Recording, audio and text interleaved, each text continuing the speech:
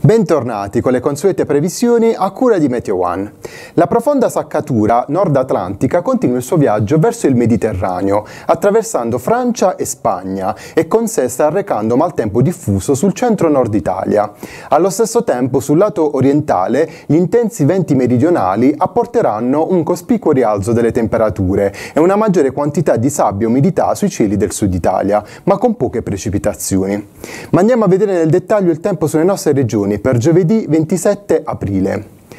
Al mattino possibilità di nubi basse o nebbie sui settori ionici, altrove nuvolosità irregolare diffusa. Durante il pomeriggio nuvolosità in aumento sul Foggiano e Alto Potentino, altrove nuvolosità sparsa e qualche sprazzo di sole. Durante la sera e la notte, con l'avanzare della perturbazione, le prime precipitazioni faranno la loro comparsa a partire dal nord delle regioni.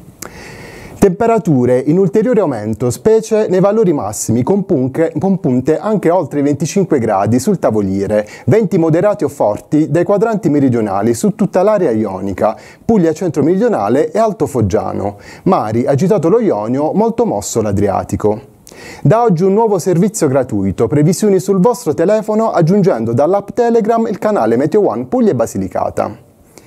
Per il nostro consueto appuntamento con la foto del giorno, oggi ringraziamo il nostro telespettatore Alfonso Zuccalà, che ci regala un panorama mozzafiato, immerso tra cielo e mare, dalle rive di Rocavecchia in Salento. Se volete inviare la vostra foto del giorno, contattateci al numero WhatsApp e le mail che vedete in sovraimpressione. La foto migliore verrà mandata in onda nella prossima puntata. Grazie per l'attenzione e arrivederci al prossimo appuntamento.